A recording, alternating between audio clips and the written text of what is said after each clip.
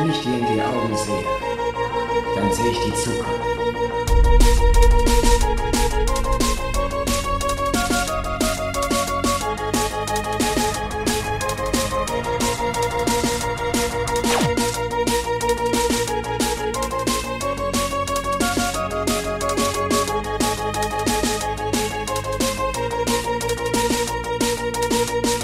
Ich habe es vielleicht noch nie richtig hingekriegt, dir zu sagen, wie viel du mir bedeutest, aber ich verspreche es dir zu zeigen.